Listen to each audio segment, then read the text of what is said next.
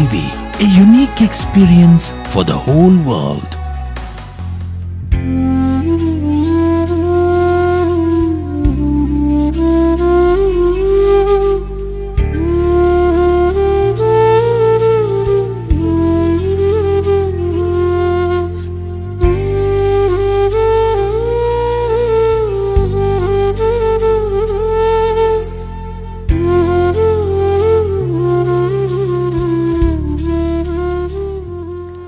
രണ്ടാം സ്ഥലം ഈശ്വമിശിഹ കുരിശു ചുമക്കുന്നു.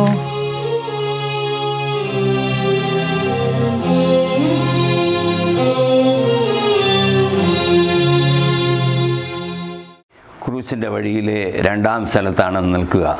ഭാരമേറിയ കുരിശ് കർത്താവിന്റെ ചുമലിൽ വെച്ച് കൊടുക്കുന്നതാണ് രണ്ടാം സ്ഥലം. നമ്മൾ പ്രാർത്ഥിക്കുന്നു ഈശോയെ ഞങ്ങൾ കുമ്പിട്ട് ആരാധിച്ച് സ്തോത്രം ചെയ്യുന്നു. എന്തുകൊണ്ടെന്നാൽ വിശുദ്ധ കുരിശാൽ നീ ലോകത്തെ വീണ്ടും രക്ഷിച്ചു അതെ.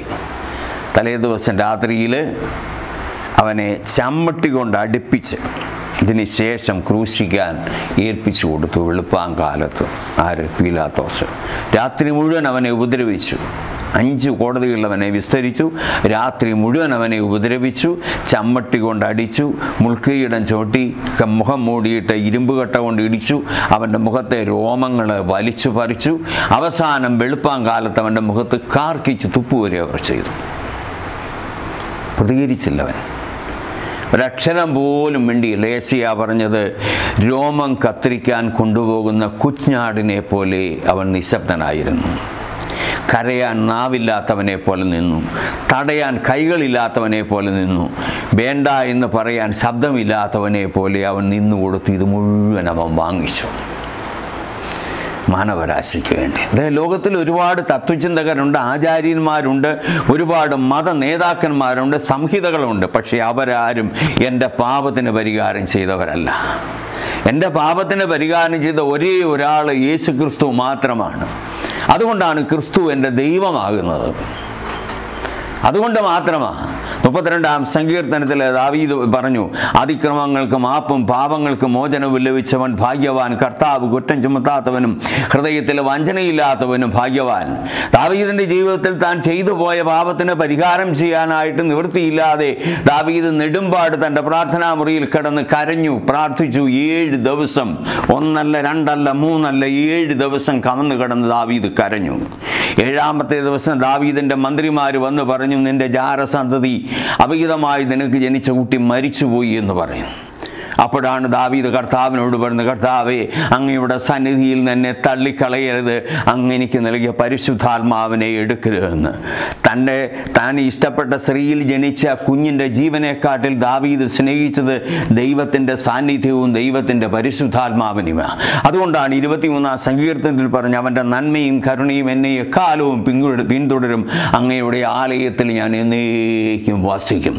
അതേ പ്രിയമുള്ളവരെ ഈ രണ്ടാം സ്ഥലത്ത് നിൽക്കുമ്പോൾ ഭാരമേറിയ സലിവാവിന്റെ ചുവട്ടിൽ വെച്ച് മുന്നൂറ്റി പതിനാറ് പൗണ്ട് ഭാരമുള്ള പച്ച പൈമരത്തിന്റെ ഒരു മരക്കഷ്ണം അവനെ തറയ്ക്കാനുള്ള കുരിശിന്റെ നെടുകയുള്ള കുറുകയുള്ള ആ കമ്പ് അവന്റെ തോളിൽ വെച്ച് അവർ കെട്ടിക്കൊടുത്തു. രാത്രി ഇരുപത്തിനാല് മണിക്കൂർ അവനെ പതിനെട്ട് മണിക്കൂർ മിച്ചവരവനെ ഉപദ്രവിച്ചു. തൊള്ളി വെള്ളം അവൻ കുടിക്കാൻ കൊടുത്തിട്ടില്ല അവൻ ഭക്ഷണം കഴിച്ചിട്ടില്ല. എന്റെ കർത്താവ് എന്റെ കർത്താവ് നാം യാത്രയിലായിരിക്കുമ്പോൾ വീട്ടിലായിരിക്കുമ്പോൾ അല്പം ദാഹിച്ചാൽ നമ്മളൊരു നിമിഷം പോലും എന്നെ താമസിക്കില്ല. അല്പം വിശന്നാൽ നമ്മൾ സഹിക്കില്ല. പക്ഷേ അവൻ ഒരു ഇരുപത്തിനാല് മണിക്കൂർ അതുകൊണ്ടാണ് യേശു ക്രിസ്തുവിന്റെ കല്ലറയിലെ കല്ലറയിലെ യേശു ക്രിസ്തുവിന്റെ മൃതശരീരം കിടത്തിയ കല്ലറ സ്ലാവുണ്ടല്ലോ പരന്ന കല്ല്. അതിന്മേൽ പറ്റിയ രക്തം കറപിടി കറക്ക കറക്കാതിരിക്കുന്നത് ഇപ്പോഴും. അതിപ്പോഴും ചുവന്ന് തന്നെയായിരിക്കുന്നേ. കാരണം ഇരുപത്തിനാല് മണിക്കൂർ സമയം വെള്ളം കുടിക്കാത്ത ഒരു മനുഷ്യന്റെ രക്തം മാത്രമേ കറക്കാതിരിക്കുകയുള്ളൂ ഈ രണ്ടായിരം വർഷമായിട്ടും. തമ്പുരാൻ അതുപോലെ പീഡ സഹിച്ചു അതുപോലെ സഹിച്ചു. യേശയായുടെ പ്രവചനം അൻപത്തി മൂന്നാം അധ്യായം നാം വായിക്കുമ്പോൾ അവിടെ നാല് മുതലുള്ള വാക്യങ്ങൾ ഇങ്ങനെയാണ് എഴുതിയിരിക്കുന്നത് അവൻ നിന്ദിക്കപ്പെട്ടു. നാം അവനെ ബഹുമാനിച്ചതുമില്ല. നമ്മുടെ വേദനകളാണ് യഥാർത്ഥത്തിൽ അവൻ വഹിച്ചത്. നമ്മുടെ ദുഃഖങ്ങളാണ് അവൻ ചുമന്നത്. എന്നാൽ ദൈവം അവനെ പ്രഹരിക്കുകയും ശിക്ഷിക്കുകയും ദണ്ഡിപ്പിക്കുകയും ചെയ്തെന്ന് നാം കരുതി. നമ്മുടെ അതിക്രമങ്ങൾക്ക് വേണ്ടി അവൻ മുറിവേൽപ്പിക്കപ്പെട്ടു. നമ്മുടെ അക- അകൃത്യങ്ങൾക്ക് വേണ്ടി അവൻ ക്ഷതമേൽപ്പിക്കപ്പെട്ടു. യേശുക്രിസ്തുവിന്റെ ശരീരത്തിലെ ഓരോ മുറിവും അവൻ അനുഭവിച്ച ഓരോ നിമിഷത്തെ വേദനയും മാനവരാശിക്ക് വേണ്ടിയിട്ടുള്ളതാണ്. അതുകൊണ്ടാണ് യോഹന്നാന്റെ സുവിശേഷത്തിൽ യോഹന്നാന്റെ ലേഖനത്തിൽ ഒന്നാമധ്യായം ഏഴാം വാക്യത്തിൽ പറഞ്ഞ അവിടുത്തെ പുത്രനായ യേശുവിന്റെ രക്തം എല്ലാ പാവങ്ങളിൽ നിന്നും നമ്മെ ശുദ്ധീകരിക്കും. എന്നാൽ പാവങ്ങൾ ഏറ്റുപറയുന്നെങ്കിൽ അവൻ വിശ്വസ്തനും നീതിമാനുമാകിയാൽ പാവങ്ങൾ ക്ഷമിക്കുകയും എല്ലാ അനീതികളിൽ നിന്ന് നമ്മളെ നമ്മൾ ഏറ്റുപറയണം. അതെ കർത്താവിന്റെ മുമ്പിൽ പോയി ഒന്ന് മുട്ടുകുത്തണം. മുട്ടുകുത്തി കുമ്പിട്ട് നിലവിളിക്കാൻ സാധിക്കുന്ന ഒരുവന് മാത്രമേ എളിമപ്പെട്ട് പ്രാർത്ഥിക്കാൻ പറ്റൂ. നിന്നുകൊണ്ട് പ്രാർത്ഥിക്കുന്നവരുണ്ട് കസേരയിൽ ഇരുന്ന് പ്രാർത്ഥിക്കുന്നവരുണ്ട് നടന്നുകൊണ്ട് പ്രാർത്ഥിക്കുന്നവരുണ്ട് പല രീതിയിലുണ്ട് ഇരിപ്പിടം സുസജ്ജ സജ്ജമാക്കി പ്രാർത്ഥിക്കുക അവിടെ അല്ല മുട്ടുകുത്തി കരഞ്ഞുകൊണ്ട് അവന്റെ മുമ്പിൽ ഒന്ന് മുട്ടുകുത്തി കയ്യിൽ വിരിച്ച് കർത്താവെ എനിക്ക് തെറ്റിപ്പോയി. എന്റെ പാവങ്ങൾ നീ ഏറ്റെടുത്തു. നീ എന്റെ രക്ഷകനാണ്. നീ എന്റെ കർത്താവാണ്. നീ എന്റെ ദൈവമാണെന്ന് അവന്റെ മുമ്പിൽ നീ ഏറ്റു പറഞ്ഞാൽ അവൻ എന്തിനാണ് ഇതൊക്കെ തമ്പുരാൻ ചെയ്തെന്നറിയാമോ യോഗനാന്റെ സുവിശേഷം ഒന്നാം അധ്യായം പന്ത്രണ്ടാം ഭാഗ്യത്തിൽ പറഞ്ഞു തന്നെ വിശ്വസിച്ചവർക്കെല്ലാം തന്നെ സ്വീകരിച്ചവർക്കെല്ലാം ദൈവ മക്കളാകാൻ അവൻ കഴിവ് നൽകി.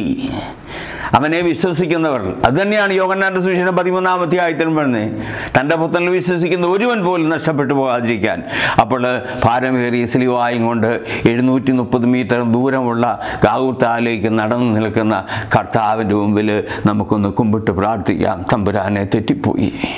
ഒരുപാട് തെറ്റുകളും കുറ്റങ്ങളും വന്നു. ഈ ശരീരത്തെ തൃപ്തിപ്പെടുത്താൻ ഈ മനസ്സിനെ തൃപ്തിപ്പെടുത്താൻ ഈ കണ്ണിനെ തൃപ്തിപ്പെടുത്താൻ ഈ കാതിനെ തൃപ്തിപ്പെടുത്താൻ ഞാൻ ഒരുപാട് തെറ്റായ വഴികളിലൂടെ നടന്നുപോയി. എന്നോട് പൊറുക്കണം എന്നോട് ക്ഷമിക്കണം. എന്റെ പാപങ്ങളൊക്കെയും ക്ഷമിച്ച് ഒരു ദൈവമകനായി ജീവിക്കാനുള്ള കൃപ എനിക്ക് തരണമേ എന്ന് നമുക്ക് പ്രാർത്ഥിക്കാം. ആമേ Mars Riva TV, a unique experience for the whole world.